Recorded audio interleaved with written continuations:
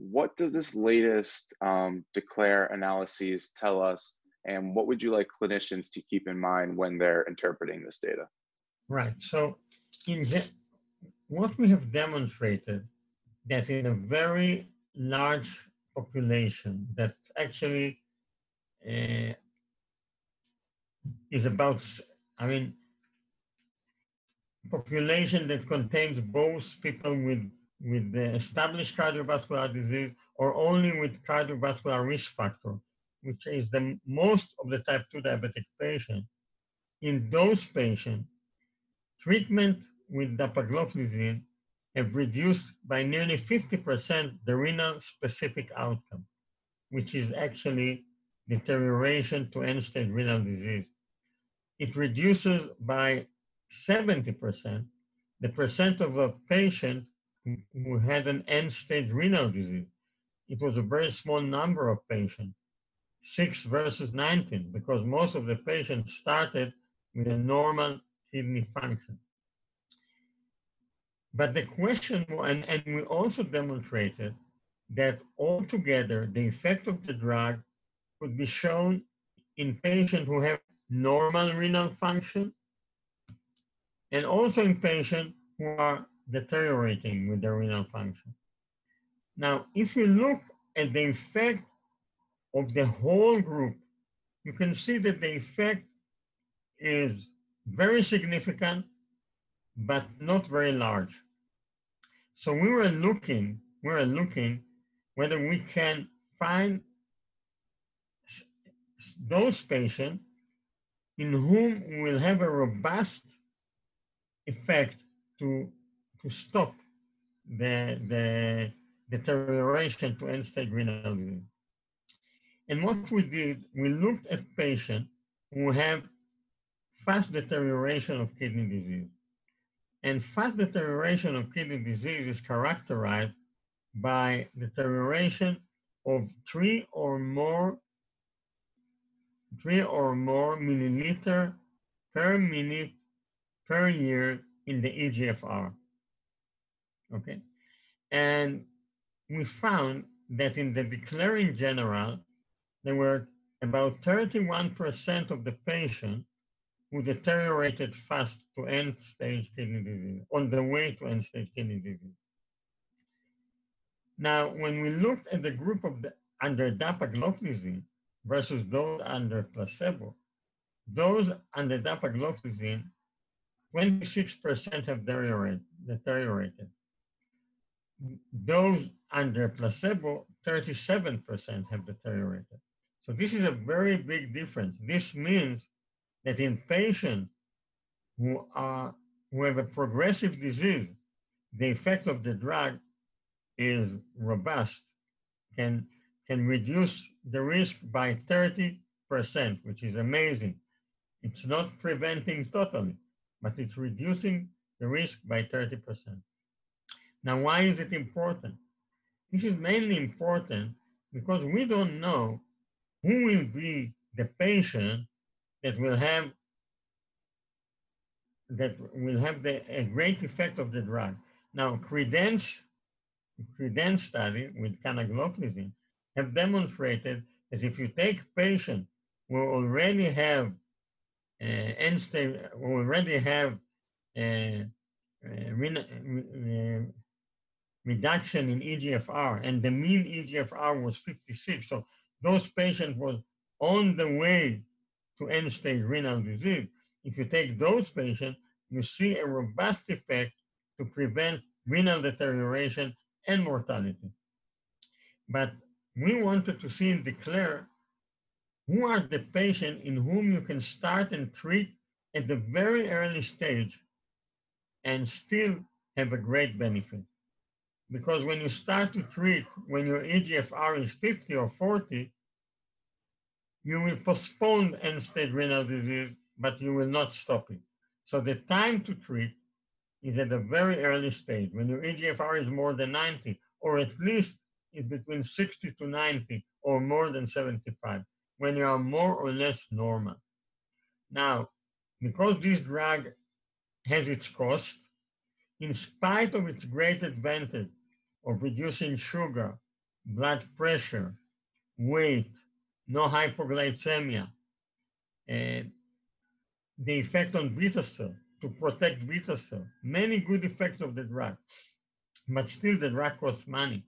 So if you want to, if you want to have an effect on patient at the time when you can still prevent the disease, you have to know how to how to recognize them in the clinic. And what I'm doing today, after this, uh, what I've learned, I look at my patient EGFR on the last three years. If it's stable, I know that the effect of the drug to prevent deterioration will be small. It will still be there, but it will be small. But if I see deterioration within three years of 10, 10 milliliter per three years or more, I know that in this patient, I can do, I can, I can have a robust effect to prevent continuous deterioration of the kidney. So this is the main thing that this study have shown. Okay, thank you for that. And as I touched on a bit earlier, um, we're learning a lot about dapagliflozin and the SGLT2 class in general. Uh, what does this add? Obviously, a lot of what we've been hearing recently has been related to the cardiovascular benefits of dapagliflozin and DAPA-HF. What does this add to our understanding of SGLT2s? what we are learning is that this drug has an effect to reduce the pressure or other variables in the kidney, which are very important. We learned in the past that if we want to prevent deterioration of the kidney, we have to treat with ACE inhibitors as early as possible. The moment we have microalbuminuria, or the moment we see a beginning of reduction in EGFR, we start with ACE inhibitor because ACE inhibitor reduce the pressure, the intraglomerular pressure. SGLT2 also reduce the intraglomerular pressure, but by another mechanism. And you need these two drugs together in order to prevent the kidney from deteriorating. And what we learn from, from DECLARE is that this drug can be effective at the very early stage of, of renal insufficiency, even with a mild microalbuminuria, even with EGFR more than 90, there will be patients in whom deterioration of kidney disease will be prevented. So the thing that we learn is we either give it to every patient because it's a very good drug in general, but if we have a cost if a, a cost problem, a, a budget problem, we can locate who will be the patient who will mainly benefit in their kidney from this drug. It's similar in the heart. In the heart, there are two things. One is MACE. So we show we show that in patients who have established cardiovascular disease, this drug can prevent recurrent of event. Okay.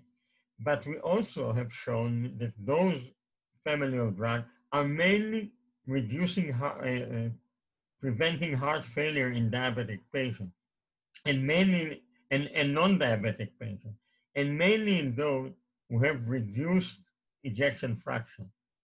Now, we learned recently in DECLARE that by a special score that we developed, we can estimate who will be the patient without a heart disease that most probably will develop heart failure. So today, we can decide that certain patients who do not have heart failure, who do not have cardiovascular, who do not have established cardiovascular disease, will highly benefit from the drug. So it's a kind of a score. You try to find those patients who will mostly benefit from the drug either in the kidney or in the heart, in spite of the fact they do, that they do not have yet heart disease or kidney disease. And this is the most important thing, it's prevention. We always try to prevent by keeping good glucose level. by normalizing the blood glucose level, by having hemoglobin A1C less than seven. Okay, but this is, first, it's not enough. And second, we know that in many patients, we, we don't achieve the hemoglobin A1C that we want in order to prevent uh, kidney and, and uh, heart disease in the diabetic patient. So now we find a family of drugs that can not either, that can not only uh, reduce dramatically events in patients with established cardiovascular disease, with established heart failure, with established renal failure. They can do it also in patients without established heart failure and without established renal failure.